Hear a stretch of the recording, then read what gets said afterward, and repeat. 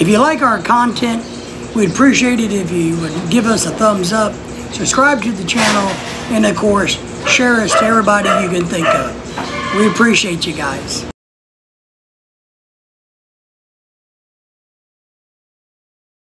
Well, hello friends, David, Filipino American couple. I'm coming to you from the heart of Cebu City. So you're going to be able to experience the scenery and the noise or the sounds of the city. So let's talk a little bit about the process that we went through with being quarantined in the Philippines. So first, make sure you understand that, let me, let me tell you from the start.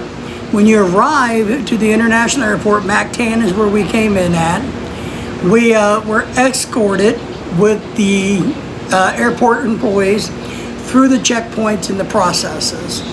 Now, and that's including getting your first swab.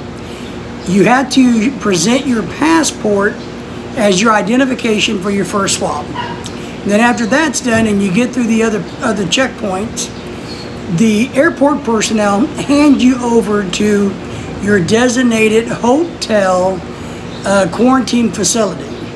So they help you load up your stuff. They give you over to the, the, the hotel people. The hotel people then pretty much just drives you to your hotel. They will unload and get you up to your room. And that's what happened for us.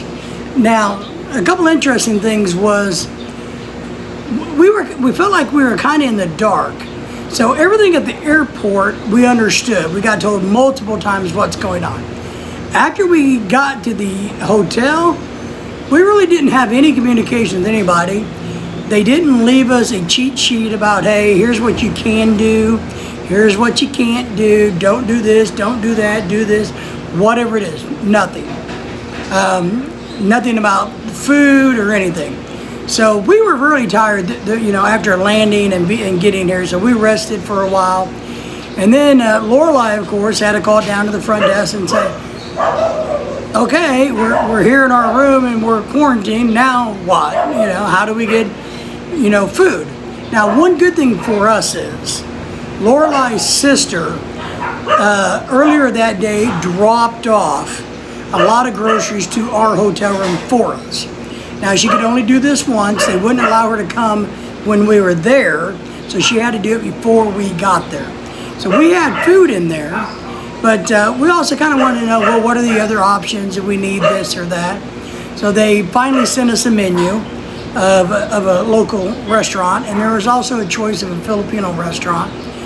The, the thing about that was, you know, the prices were okay for being in a quarantine facility. I mean, they, they were a little pricey, but not, not horribly bad. The problem was the menus were really small. So maybe they had three sandwiches and three salads, you know, but after you eat one or two, and then you probably don't like the others, eh, not a lot of choice. So my advice is if you can get somebody to bring you food to your room, uh, that's a fantastic way to do it. So that's a little bit about, about the food situation. Now, entertainment wise, well, let me tell you, you're going to want to bring your own entertainment because you know we had cable television and there were some Filipino channels and four, uh, four or five English-speaking channels that I could understand. But the problem was they just repeated the programming. I must have watched the same National Geographic documentary on drugs 20 or 30 times because there is nothing on. So make sure you bring some books to read. You know, if you got a family, maybe some games, something laptops, iPads, I'm telling you, they were the lifesaver for us from an entertainment standpoint. Um, very, very crucial to that. If you do have a large family or multiple people, uh, more than a couple, I would recommend getting two rooms or a large suite. Because one thing to keep in mind is, you know, after a day or two, the hotel rooms really start to shrink. So you're going to want that. I would also highly recommend that you get a balcony. Then at least you can open up and sit outside and get some fresh air and kind of enjoy the, the uh, atmosphere that downtown Cebu, the Philippines brings you. So a little bit about, about that. Let's see, what else? Um, we didn't have any real problems out of the, the staff or anything at the hotel. They were all very courteous. You got to make sure you get some pesos so that you can tip everybody. So now after about day two, we started wondering, okay, well, how does the swab test, the exit swab test gonna work? Because since we hadn't gotten any information about anything, we didn't know how that was going to work. So we really didn't have a clue how our exit swab test was going to happen. Uh, what was going on? We had no clue because we didn't get a piece of paper explaining it to us. We had no knowledge. All we knew was at some point on the fourth or fifth day we were supposed to get swabbed. Other than that, we didn't know. So Loriely, of course, called down to the front desk a couple of times during our time.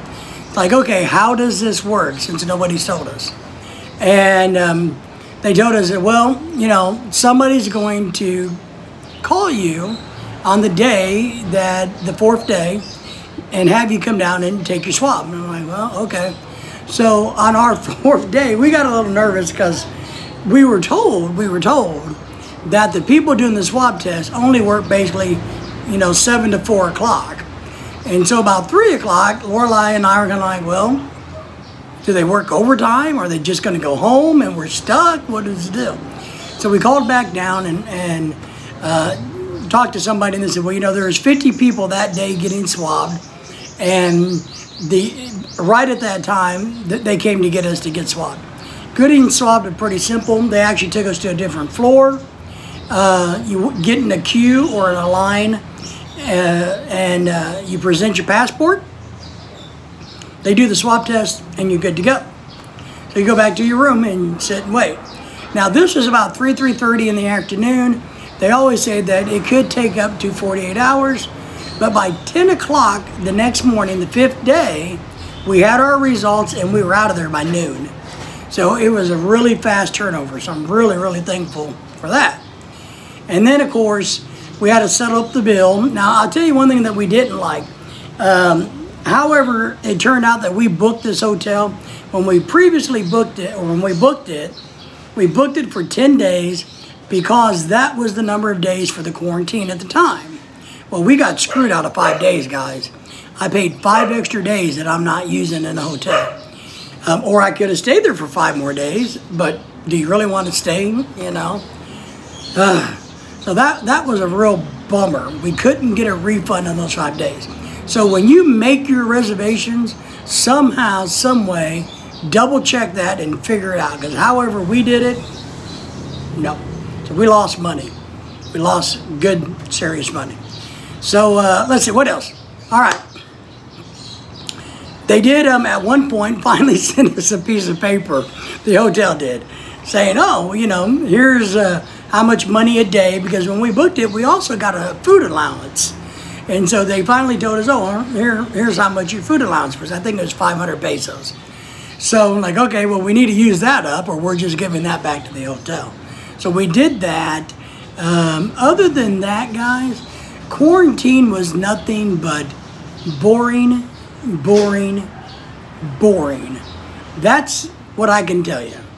It was simple, straightforward, boring, boring, boring. Nothing else. I'm going to show you a little video clip of what we saw outside of our window.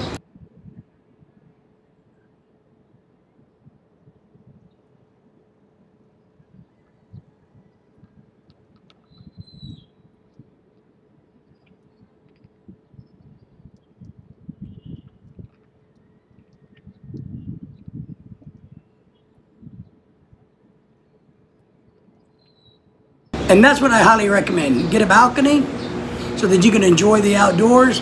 But even after five days of looking out at the beautiful city of Cebu, the scenery gets tired. So we were ready to get out of there. But all right, guys, we appreciate you. We appreciate you more than you know. Make sure you like, subscribe, share, and uh, have safe travels. If you have any questions, let us know, and we'll be happy to answer them. Uh, thank you, and we'll see you next time.